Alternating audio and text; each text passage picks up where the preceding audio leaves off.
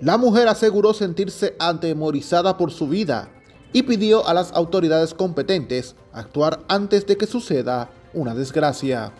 Salí de un médico del siglo para la fundación, para el cardiólogo.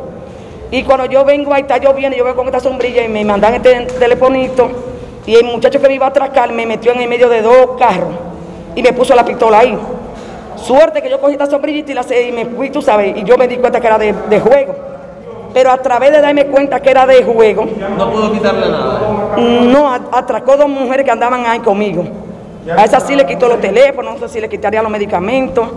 Porque a mí lo que me atracó es que la presión se me está subiendo, me baja y me sube sola. Ah, entonces luego, luego de eso. De, luego de eso, yo fui a la, al cuartel, puse la querella y le dije dónde él paraba, de qué color era, cómo tenía el motor destatalado, si no le había puesto los... Lo...